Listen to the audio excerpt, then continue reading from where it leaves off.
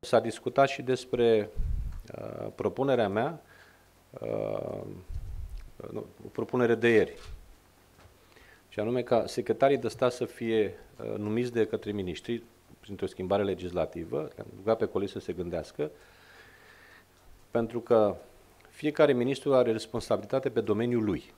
Și dacă se întâmplă ceva rău în domeniul lui, el e cel care răspunde.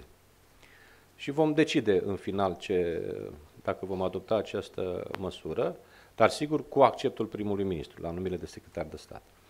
Și am întrebat-o ce se întâmplă în această situație și a zis că uh, a pus cineva problema um, cum facem să nu se sape nici autoritatea ministrului, nici a primului ministru.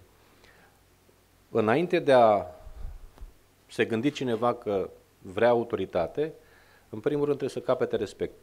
Nu poți avea autoritate fără să generezi respect. Este prima condiție. Iar în ceea ce privește autoritatea, le-am și spus, dacă un ministru va fi adus în Comitetul Executiv Național cu propunere de remaniere pe baza argumentelor primului ministru și va fi remaniat prin, uh, va primi votul pentru remaniere, din momentul ăla nu va mai greși nimeni.